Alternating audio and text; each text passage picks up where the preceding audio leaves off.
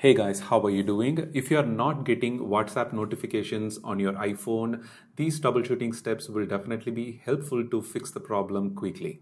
After updating the WhatsApp from App Store, some users have started to notice that their notifications are not working. They either have to open the WhatsApp in order to receive the notifications, like in all of a sudden, all the notifications will flood through the notification area, or you know, each WhatsApp messages that you receive, the notifications will be sent to you very late.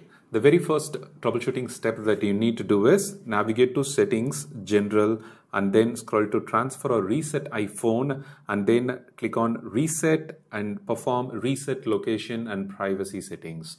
This will help you to flesh out all the notification related problems on your iPhone. After that, whenever you open any application on your iPhone, the installed applications, you will see the prompt to allow notifications or don't allow notifications. Make sure to open the WhatsApp after performing the reset location and privacy settings.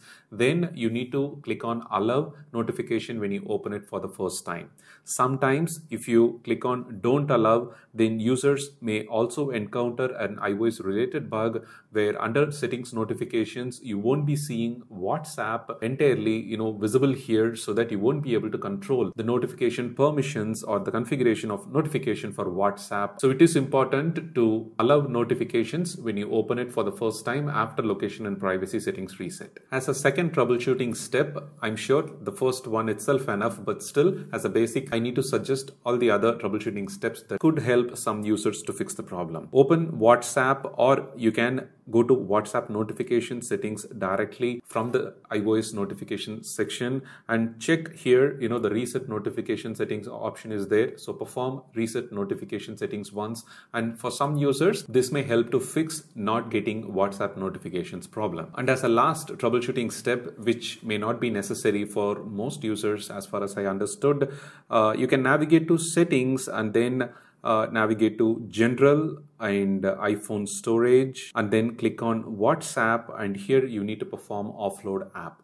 This is very effective if there are any bugs related to the WhatsApp update that you have downloaded and it is affecting the notification settings, then perform the offload app. This will remove WhatsApp, but it will still keep your WhatsApp application data, all the chats, media, contents, attachments that you have received and sent within your WhatsApp application storage area.